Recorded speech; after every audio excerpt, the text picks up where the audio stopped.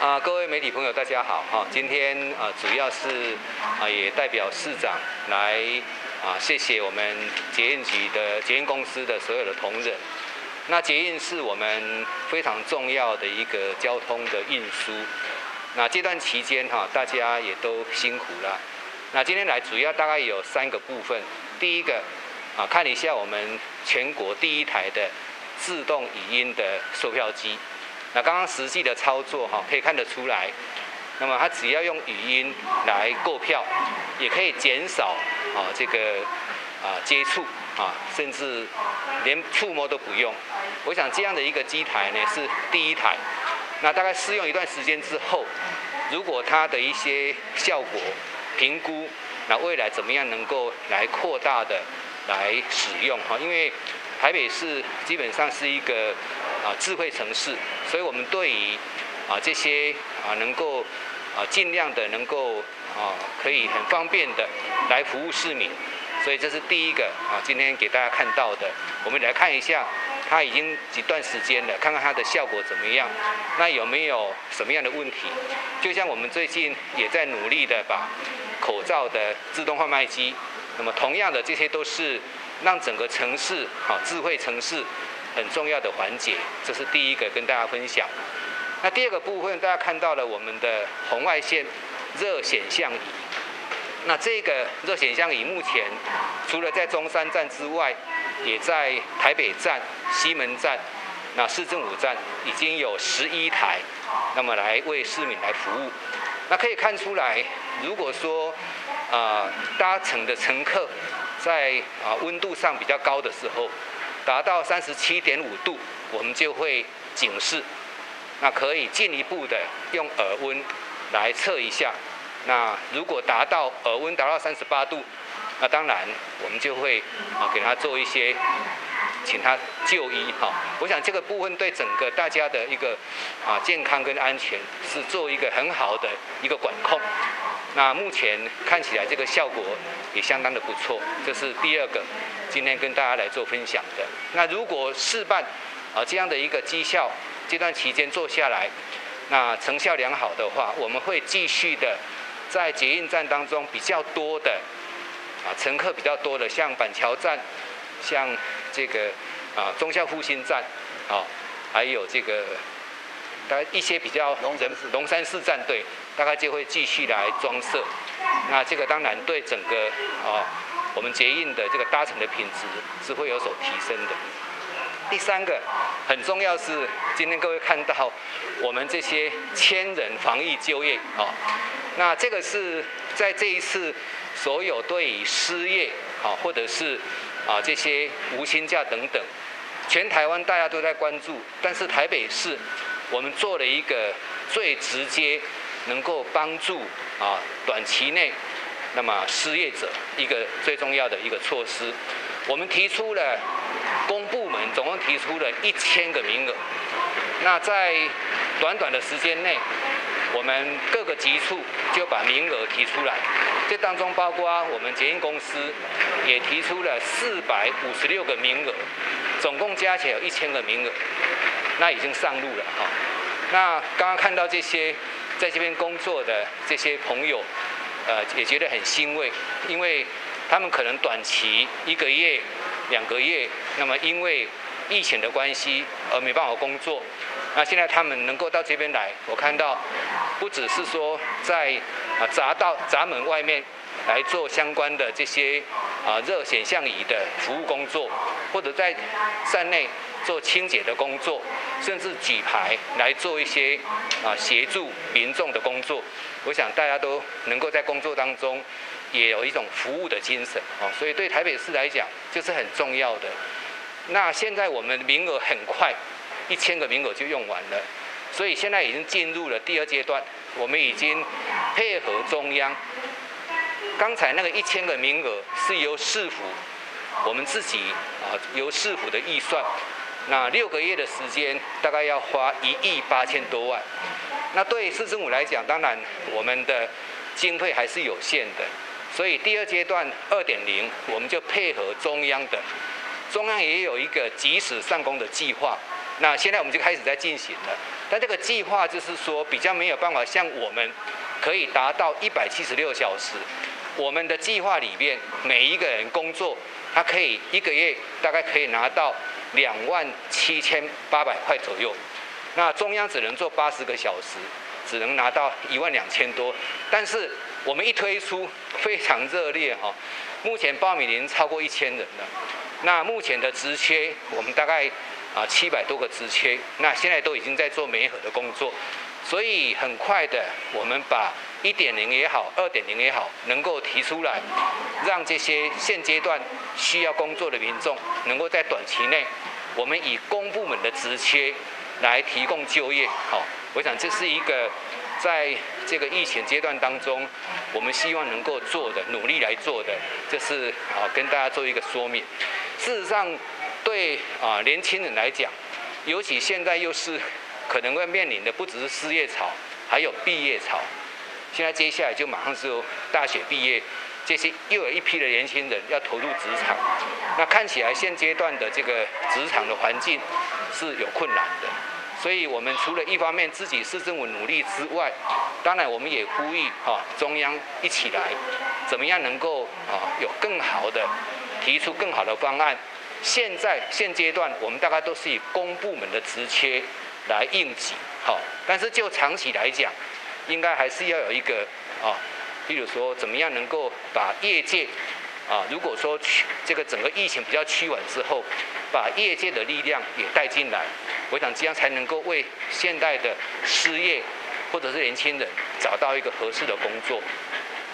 那失业的情况是严重的，我们统计了一下。在啊三月间，我们跟去年同期比较，领失业给付的大概超过增加了百分之五十六左右，啊，比同期比去年同期。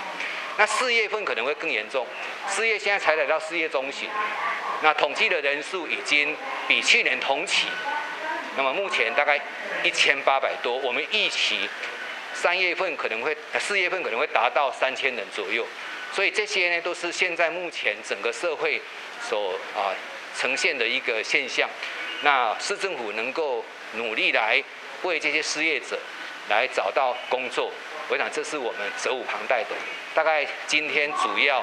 啊这个谢谢各位媒体的关心，我们大概把这几样事情。那么，利用今天的，也谢谢李董事长，谢谢我们的总经理。那捷运公司啊，扮演重要的角色。我们希望给民众提供一个安心而且这个干净的一个环境，这是很重要。尤其是这段期间，大家搭捷运要戴口罩，哈，已经成为大家的共识了，哈。那劝导的这件事情呢，从一开始四月四号推出，那劝导的人数啊比较多。那现在慢慢的已经都减少了，到现在我看这个数字里面，一天大概就是二十几位，可能没有戴口罩而没办法达成，所以应该这个人数一直在减少当中，也看得出来，啊，不只是台北市民了哈，我想搭捷运的市民，在台湾搭捷运的市民的品质都相当的高哈，我们期待说大家一起努力，让我们的捷运能够提供更好的服务。啊，以上简单做一个说明。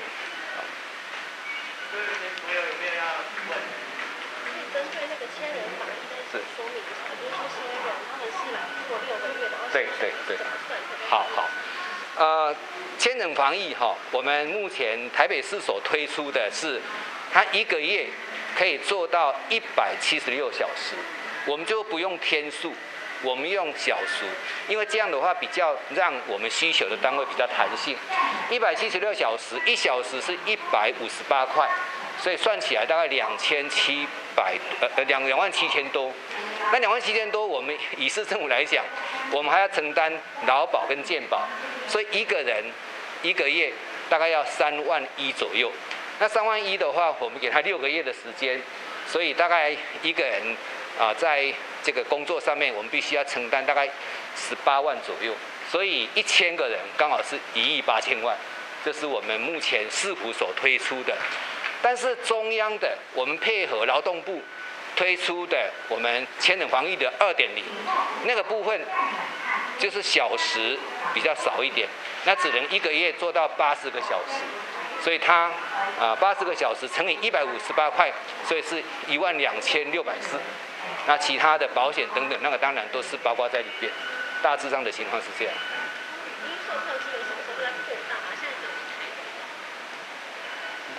我们在看成效。呃，对，总经理这边董事长哈都呃大概有提到，就是说看看这一台啊设置之后的成效，也许要三个月，对对好、看看这个三个月之后，那如果实施成效好，我们我相信成效是不错的啦。刚刚各位看到那个非常的方便哈、但是这个我觉得可以，如果说啊成效好的话，可以加速对哈、加速来推广啊，我想这个对民众来讲，的确是一个蛮好的，让整个这个购票的品质可以提升的。其他的那个红外线成像仪预计什么时候到货？然后除了那个板桥、龙山寺和忠孝附近，还有没有哪一些站也会设计？没有，我们就按照按照这个计划目。前十一台嘛，对，那，还要其他因为买不到，货进不来，都被欧美抢走了。这个是一个很实务的问题哈。目前我们已经有十一部在服务，当然捷运公司这边哈，我想也希望能够多设置的。我们原来是买十六台对对，但是因为现在这个阶段里边，其实也也要跟人家抢货哈，所以目前我们先以这十一台来服务。那接下来的几个站，我们会积极的，如果能够买得到这个啊红外线的热显像仪。能够买得到的话，我们就尽快来设置，因为最主要现在这个市场，你想买都不一定买得到。OK，好，我想问，就是我们实施那个有红外线成像仪来，目前有人是因为超过三十七点五被量耳温，或是说量了耳温再发之后协助救援。来对，对，会长来。有，呃，我们量了以后有大概有发现大概有四件，四件是超过三十八度的，超过呃，超过三十八度的，啊，三三十八度的有两件就由一一九直接送医院，那其他两个是由亲友接走。其实我一个数字，我倒觉得蛮看到那个那个捷运公司的数字哈，就是我们从四月四号开始做嘛哈，开始做这个要戴口罩。那四月四号到今天四月十五号，哦，其实才十一二天的时间。可是你看到那个民众哈，原来没有戴口罩，当然没有戴口罩有两种方式，一个是我们提供纸口罩。我们捷运公司也很贴心哈、提供那个纸口罩给他。那有的人就哎，他乐意接受，他就戴纸口罩上车。那有的人他就可能啊、比较没有意愿，所以他就不搭乘。那以不搭乘的人数来讲，四月四号大概有九百位，到四月十三号剩下二十五位。啊，我想这个数字就比较具体，可以看得出来，这个市民哈、市民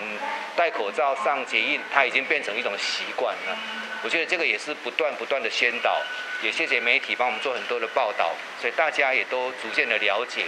戴口罩这个是一个比较好的方式。对。然后另外是，之前有个女性就是不戴口罩，然后我们有要开罚，那目前开罚金额是多少？先前先前那个那个旅客，我们已经依照规定开立罚单，但是这个行政程序就是送到市政府的一个卫生局，卫生局还要给函请他来做一个回复，有没有这个异议？如果没有异议的话，就会依照规定来开立罚单。那我们这个罚单，我们是给卫生局就？他这个就，他这个是有主管机关，就是市政府，市政府的主管机关就是卫生局在在在办。依照规定哈，规定是三千到一万五啦，三千到一万五。当然这个呃，我们一般在做这种呃这种这个裁解的时候，一般来讲呢哈，我们尤其是比较初初期，等于说初犯了哈，我们会比较从比较啊从轻的哈，当然它有一个有一个行政裁量哈，三千到一万五。那这个部分我想我们应该是会啊会看那个当事人的态度以及这个事件的啊这个情况来做采访。好，那就谢谢各位。好好谢谢谢谢